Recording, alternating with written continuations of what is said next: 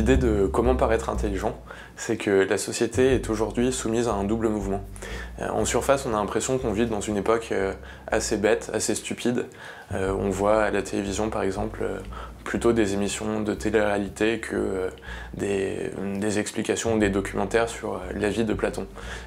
pareil, on se dit qu'on vit dans une époque extrêmement vulgaire. on pense qu'au XVIIe siècle, par exemple, Julie d'Angène et le duc de Montausier ont mis 14 ans à se déclarer leur amour. Aujourd'hui, ça va être plutôt des déclarations du style « jolies jambes, elles ouvrent à quelle heure ?» Aujourd'hui, au contraire, on vit sans doute dans une des époques les plus intelligentes qui ait jamais été, ou en tout cas une de celles qui met le plus la priorité sur l'intelligence. Pendant longtemps, l'intelligence n'était pas une vertu, c'était peut-être même un vice. Ce qu'on demandait aux gens, c'était d'être bien né, d'être riche, d'être pieux, d'être cultivé, selon les époques et les milieux. Aujourd'hui, au contraire, c'est l'intelligence qui va être le pivot de la société. C'est sur elle que tout repose. Les positions sociales, dépendent des études que l'on a fait, du moins en théorie, de la volonté que l'on met à atteindre une certaine position, certains postes. C'est ce que notait déjà dès le 19e siècle Balzac dans son traité de la vie élégante, remarquant qu'aujourd'hui, tout le sang de nos pères n'a servi qu'à arracher cette, euh, qualité d'intelligence, à faire que ce soit elle la qualité prédominante. À tel point qu'aujourd'hui, le, les étudiants d'Harvard vendent par exemple leurs gamètes pour plus de 50 000 dollars à des parents désireux d'avoir des enfants intelligents. Alors, dans ces conditions, si on n'a pas la chance d'être intelligent, ce qui est le cas de beaucoup de personnes, et moi compris, le mieux, c'est de faire semblant de l'être. D'où l'idée de ce livre.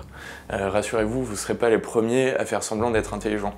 Euh, Napoléon le faisait déjà. À une époque où on pensait que l'intelligence dépendait de la taille du crâne, Napoléon, qui était très intelligent mais qui avait un tout petit crâne, demandait à ses peintres de retoucher ses tableaux et de lui grossir énormément la tête. Euh, il y a d'autres méthodes un peu plus faciles, comme celle qui est préconisée par Salvador Dali dans son bien nommé Journal d'un génie, et qui consiste à boire son urine. Mais je ne vous la recommande pas forcément.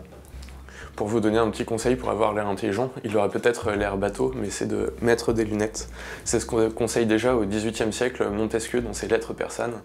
Euh, il dit que le meilleur moyen d'avoir l'air intelligent, d'avoir l'air grave, aussi bien en France qu'en Espagne, c'est de porter des lunettes et de prendre un air sérieux évidemment après. Euh, et euh, peu après, une de ses contemporaines, Madame Dolnoy, qui se promène en Espagne, remarque que les riches espagnols portent tous des lunettes.